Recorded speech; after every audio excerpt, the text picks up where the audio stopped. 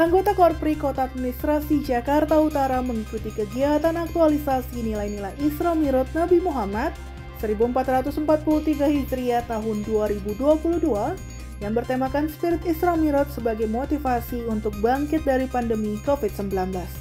Kegiatan tersebut berlangsung secara daring dan luring Rabu 16 Maret 2022.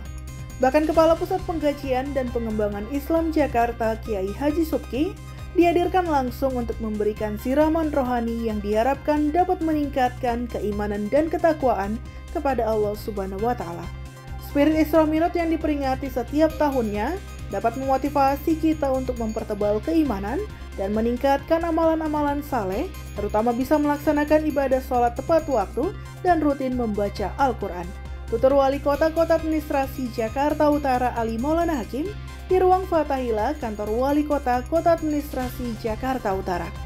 Saat pelaksanaan kegiatan tersebut, Wali Kota didampingi oleh Wakil Wali Kota Kota Administrasi Jakarta Utara Joaini dan Sekretaris Kota Administrasi Jakarta Utara Abdul Khalid menyerahkan santunan bagi anak yatim dan duafa yang mendapatkan dukungan dari Basnas Bajis wilayah Jakarta Utara. Tim Liputan Kominfotik Jakarta Utara melaporkan.